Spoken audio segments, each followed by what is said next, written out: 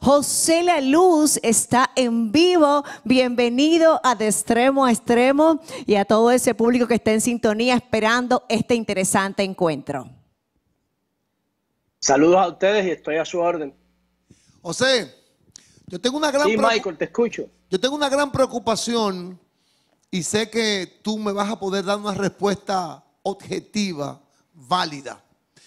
A mí me preocupa sobremanera el, el, sistema de partido en la República Dominicana. Yo decía hace un ratito nada más que si un dominicano joven quisiera hacerle un aporte positivo, bueno, a la República Dominicana, quizás hoy día no pueda del todo. Si te vas al PLD, eso es un núcleo poderoso que no deja pasar nada. Si te vas al PRD, histórico partido nuestro, ahí no queda nada, ni de ideología, ni de, ni de respeto por, por la militancia, nada. Si te vas al partido PRSC, al partido reformista, ahí Quique es que manda y nadie más. Y si te vas al PRM, yo, Michael Miguel Holguín, empiezo a olfatear que va a ser más de lo mismo. Si te vas a un partido pequeño, de izquierda o de derecha, ahí no hay nada, no hay recursos, no hay, no hay, no hay nada. Hay un vacío terrible ahí, enfermizo, por cierto. ¿Cómo ves tú este momento histórico que vivimos y cuál es su salida? Bueno, yo pienso que si tú vas a tener problemas en los partidos tradicionales, si tú tienes un discurso disruptivo, si tú tienes un discurso crítico, pero si tú tienes un discurso de rebaño, de sumarte a la, a la regla del juego, del ah, pues sistema, Tú, no vas a, tú no vas a tener problema. El problema es cuando tú tienes un discurso de confrontación, de crítica, y ese es el problema que yo particularmente he encontrado. Ahora mismo yo debería estar en la boleta de mi partido, eh, o a nivel senatorial, o a nivel vicepresidencial, qué sé yo.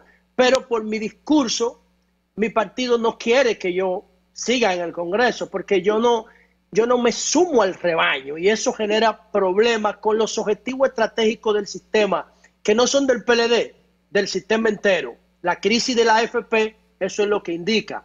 Entonces, también yo pienso que el concepto de partido, Michael Miguel, Michael Miguel de partido, está en crisis. Porque el, el concepto de partido, cuando tú lo analizas en función de su etimología, es excluyente por naturaleza un partido es excluyente porque es solo una parte de la sociedad. Ahora las sociedades después del 1990 que se cayó el muro de Berlín son horizontales, no son verticales.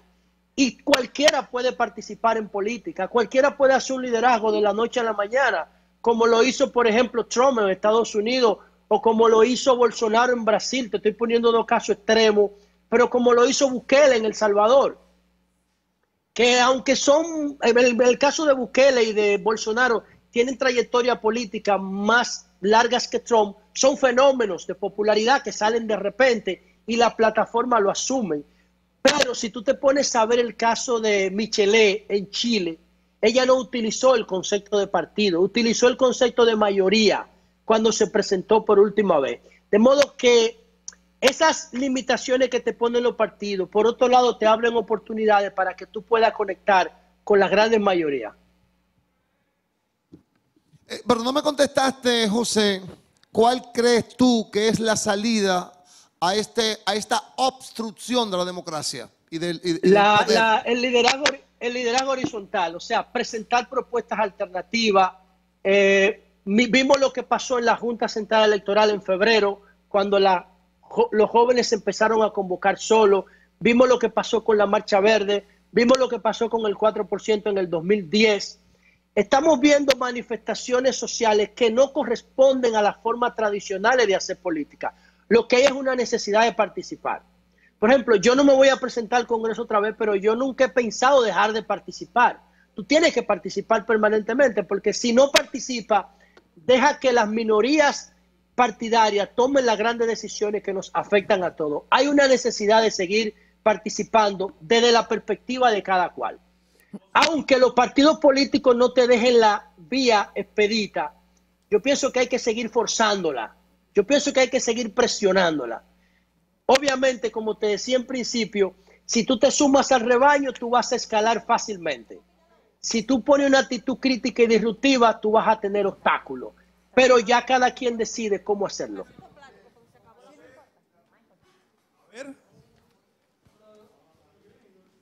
José, ajá. Villalobos por Sí, aquí, hermano. escucho. Mi respeto. Un abrazo. A tu orden. Encantado. Sigo tu trabajo, hermano. Gracias. Bienvenido a nuestro país. Gracias, hermano. Muchas gracias. Lo sé. Mira, evidentemente la atención del, del país está en el próximo proceso comicial del 5 de julio.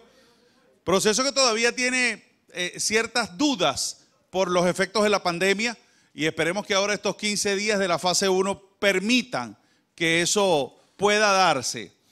Tu escenario en este proceso, muchas encuestas que van y que vienen, se habla de segunda vuelta, se habla de correr la fecha en caso de que la pandemia lo permita, pero a estas alturas, ¿cómo ves tú? ¿Hay una segunda vuelta? ¿No hay una segunda vuelta?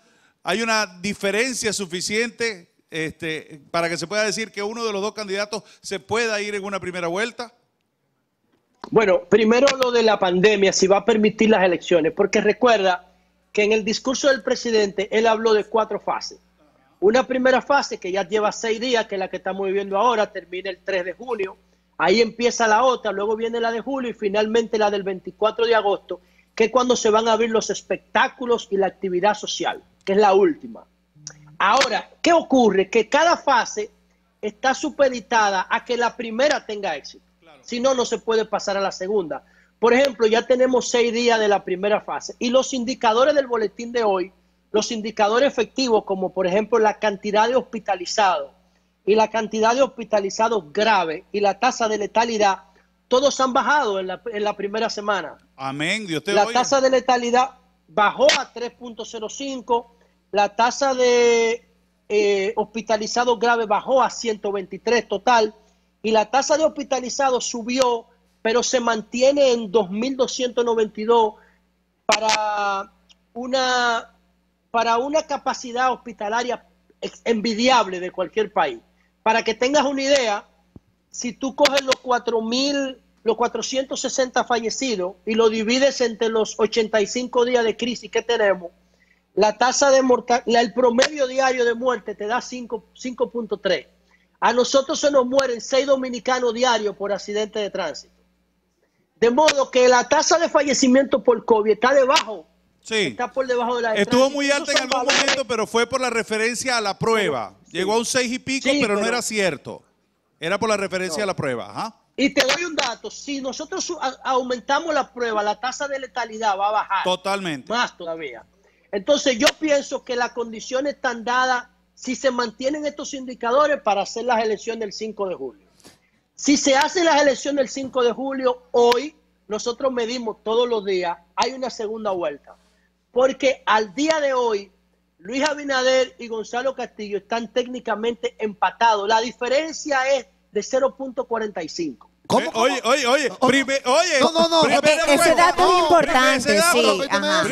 Porque es que mira- uno escucha tantas encuestas con resultados distintos y, y te escuchábamos evaluar la parte de la logística del proceso en relación a lo que está pasando con el COVID en el país. Pero en función a esos resultados que se prevén, danos esos números puntuales que manejas en este momento, José, por favor. Bueno, mira, nosotros hemos, nosotros hemos identificado una forma eh, distinta de medir porque ahora mismo no se pueden hacer estudios de campo. ¿Y, y cuál es esa Porque- forma? ¿Cuál es esa forma? Bueno, lo Compártela, que por nosotros favor. hacemos es, lo que nosotros hacemos es observaciones de redes. Nosotros tenemos un observatorio de redes, hacemos una muestra científicamente estadística que no puedo decir por aquí cómo es porque después me la roban. Y entonces tenemos un algoritmo para ver qué opina la gente. Y a esas opiniones, cuando se refieren al tema electoral, nosotros le asignamos un valor. El mercado es digital, nada más. Eh, eh, eh, hermano José. Es que- es que- Porque lo digital, tiene pero una gran debilidad, hermano. Y es que lo digital no del todo refleja la voluntad de la gente. Hay mucha.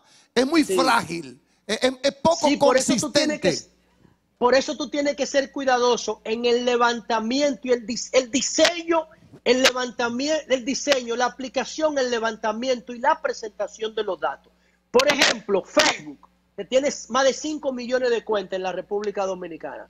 No hay una cosa más representativa que Facebook, porque Facebook es una red pasiva donde tú pones tus opiniones para que se compartan. Y tienes los datos Y de entonces, Facebook. Bueno, yo lo, yo tengo de todo porque tú no lo puedes hacer solamente de, de Facebook. todos, tienes perfecto. Que, tienes que hacer una muestra representativa. Y con todo eso que yo le estoy diciendo a ustedes ahora mismo, Sí. los datos indican que Gonzalo y Abinader o Abinader y Gonzalo están técnicamente empatados. Sí. 41 a 40.25. Es la última medición que hicimos el viernes. Mira, pero. Leonel eh, Fernández, eso sí, es así. Sí, José. Déjame pero, buscarlo, José, puedo mostrar aquí. pero tú estás dando un dato nuevo, porque hay una percepción, y desmontamela, José, de que Gonzalo Castillo no ha podido prender. Esa es una percepción, es una tendencia que hay eh, eh, por todas partes, de que el señor Gonzalo Castillo no ha podido posicionarse por encima de los mm, grandes esfuerzos que ha hecho el Estado, el presidente de la República y su grupo. Bueno, esa es la estrategia de... Eso tiene una mezcla de verdad con discurso, porque es la estrategia de todo el que está eh, compitiendo en una campaña, debilitar al contrario y maximizar sus fortalezas. Entonces, ¿qué es lo que pasa con Gonzalo? No Gonzalo, todo lo que olía a PLD y a gobierno entró en crisis en febrero, porque la sociedad le echó la culpa al gobierno y al PLD de la suspensión de las elecciones. Crisis que fue lo que generó las manifestaciones en torno a la Junta Electoral hicieron que el PLD perdiera 20 puntos electorales. El PLD bajó de 42 a ve- a 22 en febrero. Si las elecciones se hubiesen realizado en febrero, Luis Abinader gana en la primera vuelta. Después de las manifestaciones de la Junta y de que el país entero pensaba que el gobierno había hecho fraude para suspender las elecciones. ¿Qué pasó después? Vino la OEA y dijo, no, lo que se produjo ahí fue un desorden electoral en términos informáticos. Y entonces eso provocó que el PRM ganara las elecciones de marzo, la suspensión de febrero. Ahora, ¿qué pasó?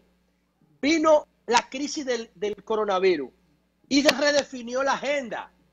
Cuando viene la crisis del coronavirus, todos los políticos se esconden en sus casas, van a la cuarentena. ¿Qué hizo Gonzalo? Gonzalo no se fue a la cuarentena.